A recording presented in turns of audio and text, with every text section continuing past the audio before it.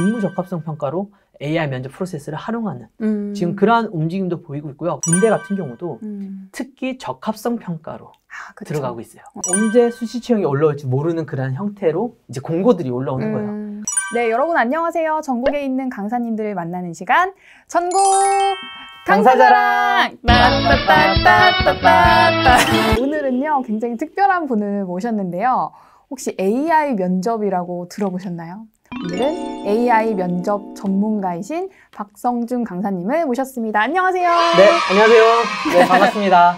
AI 면접이라니까 뭔가 이 기술, 로보트 아. 막 이런 게 막 떠오르거든요. 그 활성화되고 있는 이 프로그램을 효과적으로 어떻게 하면 나를 그 AI 면접관에 맞춰서 잘 보여줄 수 있을까를 그래서 아, AI 면접을 준비하는 것과 대면 기존의 면접을 준비하는 것의 가장 큰 차이점이 뭔지를 AI 면접에서 합격하는 게 더 어려워요. 대면 면접에서 합격하는 게 더 어려워요. 그럼 앞으로 진짜 이 AI 면접이라는 게 지금도 각광을 받고 있지만 향후에 그 미래를 좀 더 밝게 보시는 거죠. 저는 그렇게 보는 이유 중 첫 번째는 뭐냐면 분야가 확장되고 있다라고 볼 수가 있을 것 같아요. 그쵸. 지금은 기업에서 채용에서의 의미로 쓰고 있는데 그런데 기업마다 또 특이점이 있는 게요. 기업에서 활용하는 용도에 따라서 명칭이 달라져요. 어, 어떤 기업은요. AI 인적성, 음, 어떤 기업은 AI 역량 평가, 어떤 기업은 또 AI 면접 음, 이런 식으로 각자 기업에서 활용하려고 하는 그 용도나 음. 목적에 따라서 명칭이 달라지는 음, 거예요.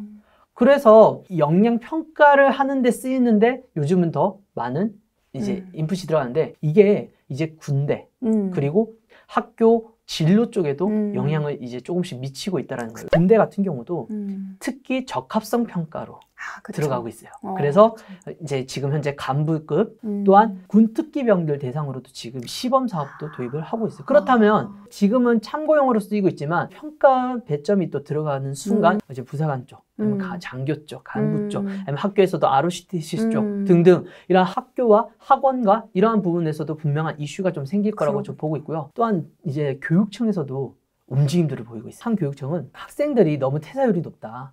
퇴사율이 그렇죠. 근데 왜 그러냐 봤더니 내 직무와 내 성향과 이 회사와 적합성이 안, 맞, 안 맞아서 어. 좀 그만두는 학생들이 너무 많다라는 거예요. 어. 그래서 이제 직무 적합성 평가로 AI 면접 프로세스를 활용하는 음. 지금 그러한 움직임도 보이고 있고요. 그래서 한 이제 교육청 같은 경우는 그 장학사님 음. 이제 뽑을 때도 2차 면접 때 직무 적합성 평가가 들어갔어요. 음. 점수 배점으로. 음. 그래서 고시학원 쪽에서도 이제 이슈화가 되고 있는 음. 이러한 부분으로도 볼 수가 있더라. 그래서 저는 가능성에 대한 부분이지만 음. 이거를 또 크게 보는 이유는 어, 진로에 대한 부분 그리고 내가 진학 그리고 하- 대학교의 한 대학교는 아예 입시 자체에 AI 면접을 보고 적합도를 평가하고 입시부터. 있어요. 어. 네. 그런데 이게 이제 대학교에 들어가는 순간 이 프레임은 그쵸. 아, 밑으로 어마어마하게 바뀌지. 않을까. 그쵸. 근데 이제 이거는 이제 그 부분으로 맞춰진 프로그램이 이제 나와줘야겠죠. 음. 근데 이러한 프로그램이 이제 인적성과 아니면은 이 역량 평가와 그리고 그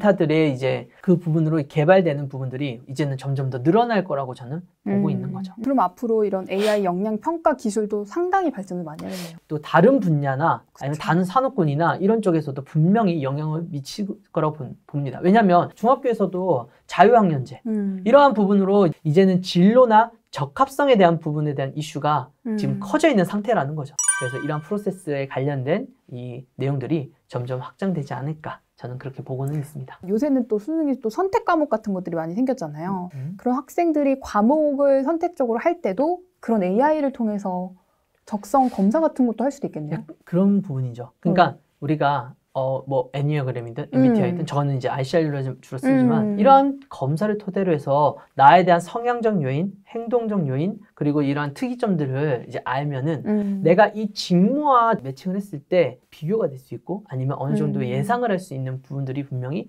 생긴다라는 거죠. 그러한 패턴에 이제 이 프로세스들이 이제 적용이 돼서 늘어나지 않을까. 그렇게 보고 있죠. 학생들이 이제 성적과 뭐 이러한 부분으로 가는 것보다 이제 맞춤형으로 가는 이러한 움직임들이 이제는 더 많아지지 않을까. 근데 이제 이거는 많은 정보 데이터와 그 많은 이제 이 개발에 대한 그 인풋이 많이 들어가기 때문에 음. 아직은 어떻게 될지 모르겠지만 네, 그래도 가능성은 저는 있다고는 보고 있어요. 1월에 세미나가 예정이 있으시나요? 어, 네. 1월에 제가 이제 메타버스를 강의해 주신 안수영 강사님과 함께 저는 이제 AI 면접을 맡고요. 음. 그 안수영 강사님은 파워포인트 강의를 음. 맡아서 일정은 1월 6일, 1월 7일 AI 면접 채용 트렌드에 음. 대한 부분과 약간 프로세스의 내용으로 그리고 같은 내용으로 두 번 이제 토요일 날 저녁 8시에도 한번 음. 더 진행할 예정입니다. 그럼 이런 세미나를 누가 들으면 네. 좋은 거예요?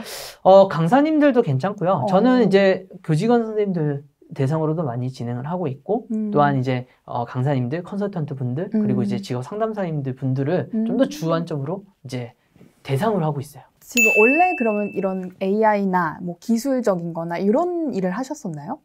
아니요, 저는 이러한 쪽을 한 건 아닌데요. 음. 어, 우리가 그런 거 있잖아요. AI 면접 기술을 안다고 해서 기술을 굳이 학생들에게 알려줄 필요가 없죠. 왜? 음. 학생들은 일도 관심이 없거든요. 음. 그래서 저도 얘기를 해요. 어, 간단하게 이제 AI 면접 구성이나 기술이나 이런 부분들을 조금씩은 얘기를 합니다. 근데 그 얘기는 그냥 아 이런 게 있어. 음. 라는 느낌으로만 짚고 가지. 근데 저는 궁금한 게 그걸 어쨌든 안 알려주더라도 내가 이해하는데 아. 시간이 필요한데 그 부분은 네. 제가 이런 거예요. 이제 이런 기술은 이러 이런 부분이야. 근데 이걸로 토대로 해서 여러분들의 외적인 어떤 부분들을 분석하고 있다, 내적인 어떤 부분들을 분석하고 있다에 대한 이 결과물에 대한 기반으로 설명을 해주는 거죠. 음. 그래서 내가 이 기술에 대한 부분을 알- 이해를 하면 그 다음에 내가 그럼 그 기술에 맞게 어떻게 대비해야 되는지 그 how to에 대한 부분에 조금 더 음. 인풋을 주는 거죠. 음, 음. 아무래도 이제 컨설턴트 분들이나 취업 담당자인 분들이나 이런 분들은 학생들이 물어볼 수도 있고 전반적인 이 채용의 트렌드, 흐름, 그리고 넓- 넓은 틀 이런 부분들을 전체적으로 얘기를 하면서 가요.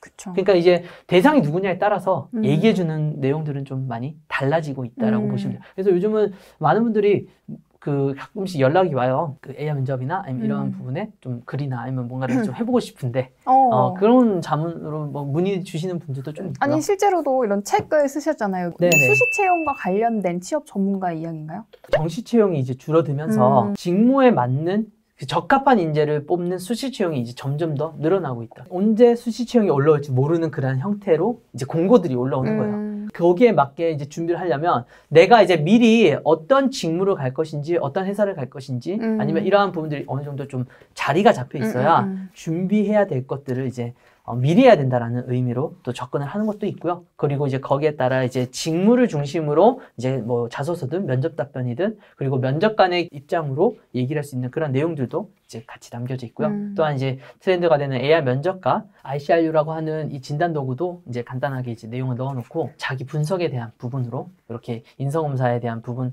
내용과 함께 이렇게 넣어놨었어요. 지금 또 쓰고 계시는 집필 중인 책이 있으시지 지금 않나요? 이제 또 음. AI 면접 책으로도 좀 음. 지금 생각은 하고 있어요. 쓰셔야죠. 전문가시니까. 시중에 있는 지금 책들은 좀 더 더 디테일하게 뭔가 그 풀어져 있지는 않더라고요. 그래서 제가 아직 고민은 하고 있는 게 이제 어느 정도에 대한 부분으로 좀 이걸 음. 해야 좀 쉽고 그리고 또 어떤 사람을 대상으로 할까에 음. 대한 부분도 고민을 하고 있고요. 근데 이제 일단 타겟은 제가 봤을 때 학생으로 하는 게 지금 제일 맞는 것 같아서 음. 학생들의 버전으로 지금 생각은 하고는 있는데 음. 일단은 어느 정도로 할 것인지 그리고 내용이나 이런 부분들은 좀 준비는 하고 있어요. 향후에 또 준비하고 있는 교육 프로그램이 진로 교육이지만 어떤 진로 교육이냐면 나의 내면을 긍정화시켜서 그러니까 비판적 사고가 아니면 부정적인 인식과 음. 아니면 또 내가 위축되고 자신감 이런 학생들이 사- 스스로가 변 알아서 깨어나와가지고 음. 좀 자기만의 길을 자기 스스로가 잘 찾아갈 수 있도록 음. 제가 그 길을 잡아주는 그러한 과정들 교육 프로그램들도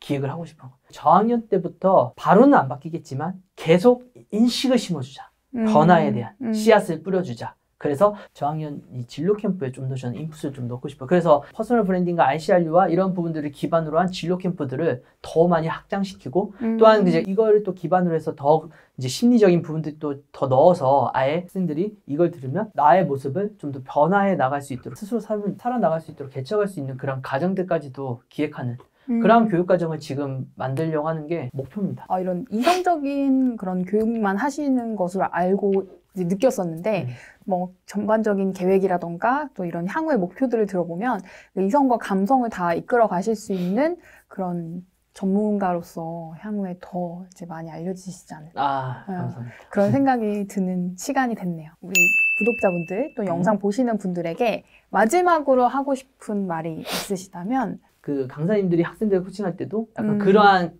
약간 이런 게 정답이지 이렇게 가는 게 좋아 음. 이렇게 너무 그 한 방향성, 일방향성으로 가는 경우들이 좀 있지 않을까 음. 보고 있거든요. 그래서 이러한 부분들이 학생이 스스로가 생각할 수 있게 그리고 학생이 또 이런 것도 있어요. 재해석을 해버리는 경우들도 많더라고요. 음. 그러니까 나는 이런 의도로 얘기를 했지만 그 학생은 그 의도를 자기만의 기준으로 또 재해석을 하는 경우들이 그쵸, 그쵸. 생각보다 많이 있더라고요. 음. 그래서 저는 이런 학생과 그 학생의 생각과 인식과 이런 부분들까지 좀 개선할 수 있고 음. 그리고 그러니까 학생들이 원한다고 해서 거기에 이끌려서 정답을 만들어주는 아 그 거기에만 좀 치쳐서 가는 그런 부분들보다는 좀더 이제 학생들 스스로가 이 생각해서 사고해서 나아갈 수 있도록 하는 그러한 코칭이나 컨설팅들을 좀 더 아니면 교육들을 해 주신다면 훨씬 더 좀 좋지 않을까 음. 저는 그렇게 보고 있습니다. 어, 좋습니다. AI 면접 전문가이신 에이어스 박성준 대표님을 만났는데요. 혹시 영상 보시고 AI 면접 관련된 또 AI 역량 평가 관련된 궁금한 점이 있으시면 아래 댓글에다 달아주세요. 그러면 답변을 좀 드리도록 하겠습니다. 네, 이상으로 오늘 전국 강사자랑 모두 마치도록 하겠습니다. 감사합니다. 네, 감사합니다.